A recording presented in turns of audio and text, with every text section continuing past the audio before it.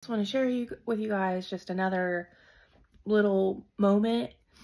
So I've been able to wear my engagement ring and one of my wedding bands for a few months now, but I just decided to try on my full set and it actually fits. It's a little snug, just slightly with all three rings on, but it, it fits and it's, it's been a really,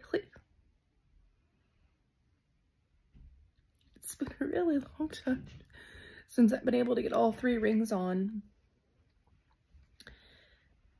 This really shows that it's the small things, it's the small choices we make that make such a big impact over time.